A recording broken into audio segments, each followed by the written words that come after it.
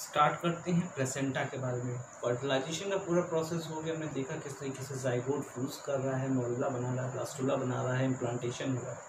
अब हम समझते हैं कि जहाँ पर इम्प्लांटेशन हो रहा है, यानी प्लेसेंटा आखिर ये कितने टाइप का होता है और एग्जैक्टली प्लेसेंटा का मतलब क्या होता है और अलग अलग ऑर्गेनिज्म में किस टाइप के प्लेसेंटा होते हैं। जैसे हम ह्यूमन बींग में किस तरीके का प्लेसेंटा होता है या किसी और मैमल्स की बात करते हैं तो उनके अंदर किस तरीके का प्लेसेंटा होता है। सबसे पहले हम लोग बात करने वाले जिसके बारे में प्लेसेंटा है तो प्लेसेंटा है क्या? प्लेसेंटा एक मैकेनिकल एंड फिजियोलॉजिकल कनेक्शन है between maternal part and fetal part maternal part और फिटल पार्ट के बीच में प्लेसेंटा एक कनेक्शन होता है, एक कह सकते हैं लिंक की तरह काम करता है, जो कि अलग अलग फ़ंक्शन को फॉर्म करता है। सपोज़ कर लेते हैं कि ये फिटल पार्ट है और इस फिटल पार्ट से क्रोनिक विलाई जो है, वो एंडोमेट्रियम वॉल तक। ये एंडोमेट्रियम वॉल है। एंडोमेट्रियम की वॉल है। ये क्रोनिक विलाई है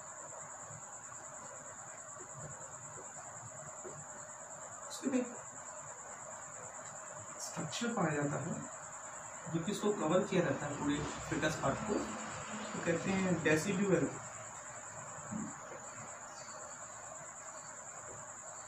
कैप्सुलरिस चारों तरफ़ से फिटस को कवर किया हुआ एक स्ट्रक्चर पाया जा रहा है जिसको हम कहते हैं डेसिडुअल कैप्सुलरिस और जो जगह बच जाती है उसको कहते हैं डेसिडुअल पेरिटेरिस ऐसे ये स्ट्रक्चर जो है जहाँ पर बच जा रहा है, ये इसे कहते हैं देसी डुअल पेरिटेरिस तो दो नाम याद रखना ज़रूरी है डेसिडुअल कैप्सुलरिस और एक हो गया डेसिडुअल पैरेटेलिस और ये कनेक्शन होता है किसके किसके बीच के बात कर रहे हैं हम? मैटरनल पार्ट की बात कर रहे हैं और फिटल पार्ट की बात कर रहे हैं। मैटरनल और फिटल में जो कनेक्शन और पाया जाता है, इसको हम लोग कहते हैं अम्बिकल कॉर्ड इसे हम अम्बिकल कॉर्ड कहते हैं, कुछ ऐसे कनेक्शन हम समझ लेते हैं। ये है प्लेसेंटा स्ट्रक्चर और ये फिटस और ये हो गया अम्बेलिकल कॉर्ड अम्बेलिकल कॉर्ड ये कनेक्शन बीच में प्रोवाइड किया प्लेसेंटा का कुछ बहुत ही इम्पोर्टेंट फ़ंक्शंस में से पहला फ़ंक्शन है रेस्पिरेटरी गैसियस एक्सचेंज यानी फिटस को गैसियस एक्सचेंज करने में प्लेसेंटा मदद करता है। दूसरा हॉर्मोन्स प्रोजेस्ट्रॉन निकलता है, ये सब जानता है।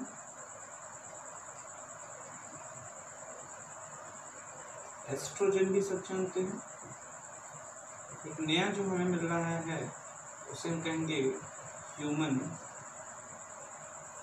chronic gonadotropin chronic gonadotropin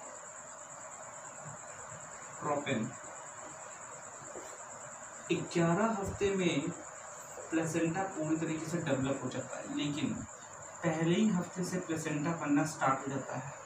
पहले हफ़्ते के बाद ट्रेगा न्यूज़ वगैरह जैसे जो टेस्टिंग किट होती है एक्चुअली वो टेस्ट किस चीज़ को कहती है? वो टेस्ट करती है ह्यूमन क्रोनिक गोनेटोट्रोपिन हार्मोन का।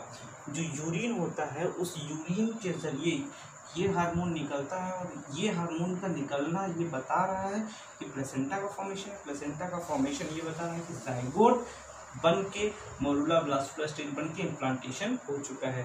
तो यहाँ से हम लोग प्रेगनेंसी टेस्ट को क्लियर कर ले जाते हैं। कुछ और इम्पोर्टेंट बातें जो हम इसके बारे में समझेंगे कि जो प्लेसेंटा होता है, वो एक तरीके से बैरियर का भी काम करता है। बैरियर किस लिए? सारी चीज़ें मदर मैटरनल से फिटस में ना जा सके, लेकिन बहुत सारी चीज़ें हैं जिसके लिए बैरियर नहीं काम कर सकता, जैसे एच आई वायरस प्लेसेंटा नहीं रोक सकता है। उसी तरीके से अगर हम देखेंगे टेट्राटोजन टेराटोजन टेट्रा टेराटोजन जो होते हैं, वो हार्मफुल केमिकल्स होते हैं, जो मैटरनल बॉडी में बने हों या फीटल बॉडी में, वो भी कभी एक्सचेंज नहीं होते। तो कुछ चीज़ें नहीं होती हैं, लेकिन एचआईवी और टेराटोजन जो होते हैं, वो हो जाते हैं। इसी वजह से इन दोनों को हम एक्सेप्शन केस में लेकर चलते हैं। जनरली ये बैरियर होता है। पैसिव इम्यूनिटी प्रोवाइड करता है नाइट्रोजनस वेस्ट को रिमूव करता है। अगर कुछ और इम्पोर्टेंट बात करें तो पैसिव इम्यूनिटी बच्चे को पैसिव इम्यूनिटी प्रोवाइड करना और नाइट्रोजनस वेस्ट को रिमूव करना। ये कुछ फ़ंक्शंस होते हैं प्लेसेंटा के। तो प्लेसेंटा का जो मेनली फ़ंक्शन अगर हमसे पूछेगा रेस्पिरेटरी गैसेस एक्सचेंज हो गया हार्मोन का सिक्रीशन करना प्रोजेस्ट्रॉन रेजिस्ट्रॉन ह्यूमन क्रोना क्रोनिक गोनेटोटोपिन से हम प्रेगनेंसी टेस्ट कर लेते हैं। बैरियर के भी तरह काम करता है प्लेसेंटा लेकिन दो चीज़ के लिए बैरियर का काम नहीं कर सकता, यानी दो चीज़ को नहीं रोक पाता है आई को नहीं रोक पाता और टेराटोजेंस जो कुछ हार्मफुल केमिकल्स वगैरह हैं पैसिव इम्यूनिटी प्रोवाइड करता है और नाइट्रोजनस वेस्ट को बॉडी से फ्यूटल बॉडी से रिमूव करता है। बात करते हैं टाइप्स ऑफ़ प्लेसेंटा की, यानी कितने टाइप के प्लेसेंटा होते हैं। तो टाइप्स ऑफ़ प्लेसेंटा में जो टाइप होते हैं, उसमें पहला होता है इपीथीलियोकोरियल सिंडेस्मोकोरियल एंडोथीलियोकोरियल और हेमोकोरियल पहले ये क्यों इसका ऐसा नाम रखा है वो समझते हैं। सपोज़ कर लेते हैं कि ये फिटल ब्लड है और ये मैटरनल ब्लड है। फिटल ब्लड मैटरनल ब्लड के बीच की जो दूरी होती है, उसके बेसिस पे हम पता कर रहे हैं टाइप्स ऑफ़ प्लेसेंटा तो टाइप्स ऑफ़ प्लेसेंटा हम यहाँ के दूरी में जितने सारे टिश्यू हैं, यानी on the basis of histology हम किसके बात कर रहे हैं? On the basis of histology histology मतलब टिश्यू के बेसिस पे बात करें तो कितने टाइप के प्लेसेंटा होते हैं? तो हमने कहा कि ये जो है मैटरनल ब्लड वेसल्स हैं और ये फिटल ब्लड वेसल्स हैं। फिटल ब्लड वेसल्स के बाद कुछ हमें कनेक्टिव टिश्यू मिलेंगे, फिर उसके बाद क्रोनिक विलाई मिलेगा। ये फिटल है। हमें फिर कुछ कनेक्टिव टिश्यू मिल रहे हैं। और उसके बाद हमें क्रोनिक विलाई मिल रहा है।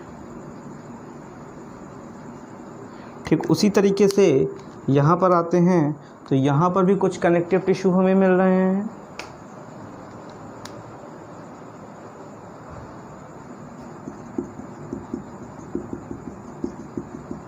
कनेक्टिव टिश्यू मसल्स वगैरह। और उसके बाद हमें एंडोमेट्रियम की वॉल मिल रही है। तो एक लेयर दो लेयर तीन लेयर चार लेयर पाँच लेयर छः ये हमारी मैटरनल ब्लड वेसल्स मान लेते हैं। ये कनेक्टिव टिश्यू मान लेते हैं। ये एंडोमेट्रियम की वॉल है।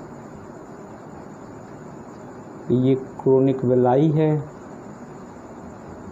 ये कनेक्टिव टिश्यू फिर से मैटरनल फेटल साइड से और ये फेटल ब्लड वेसल्स है तो यहाँ से यहाँ लगभग छः लेयर्स हैं।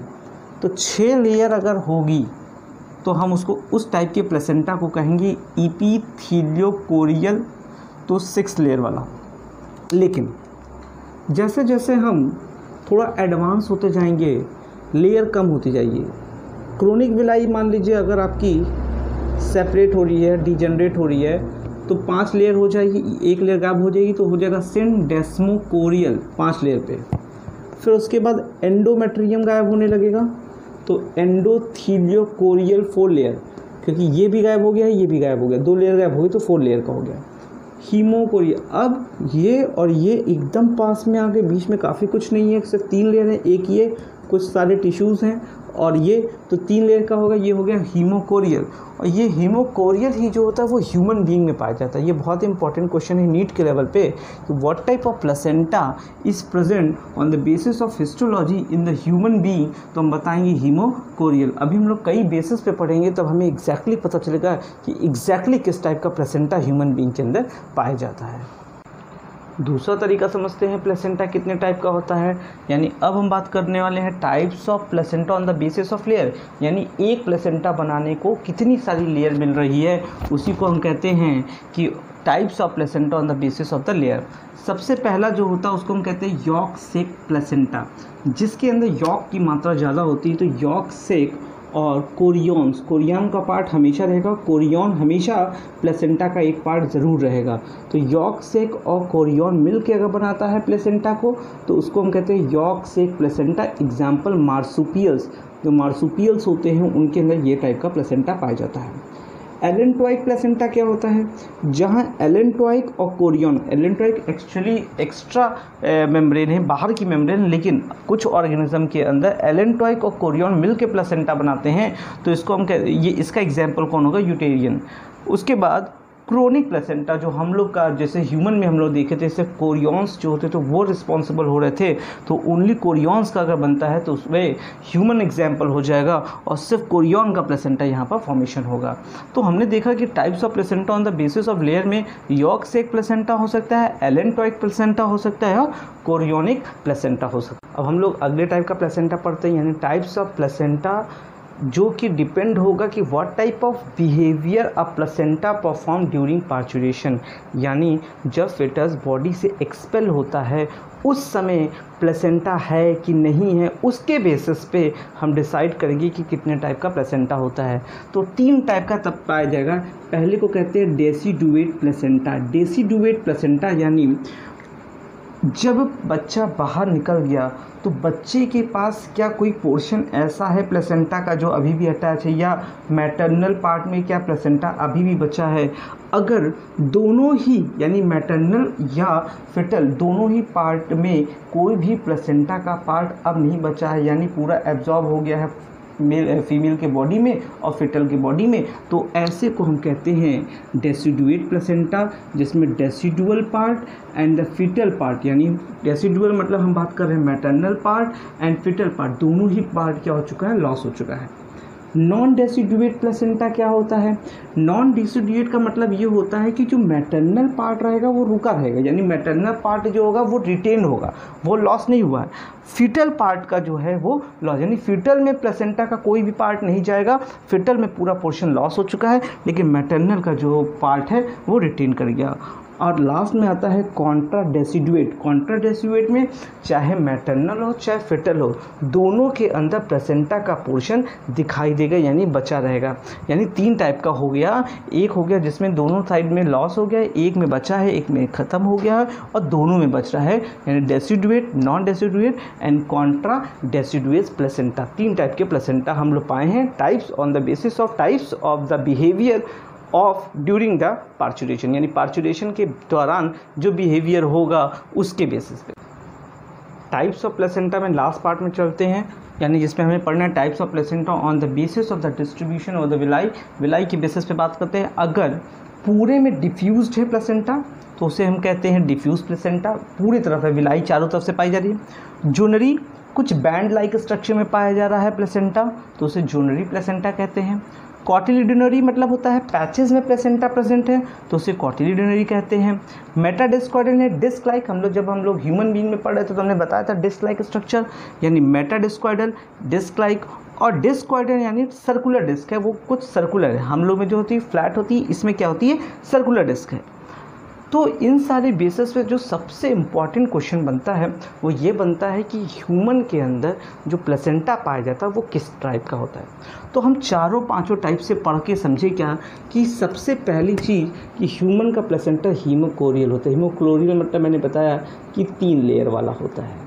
फिर मैंने कहा क्रोनिक यानी सिर्फ़ किसका बना होता है? कोरियॉन्स का बना होता है नथिंग एल्स फिर बताया मैंने डेसीडुएट डेसी मतलब है कि लॉस्ट हो जाएगा, चाहे मैटरनल पार्ट हो और चाहे फिटल पार्ट हो, दोनों लॉस्ट होगा। और फिर लास्ट में आता है मेटा डिस्कॉर्डेड यानी किस तरीके का होता है? डिस्क लाइक तो इस पूरे कॉन्सेप्ट से हम लोगों ने किसके बारे में पूरी स्टडी की है? प्लेसेंटा के बारे में।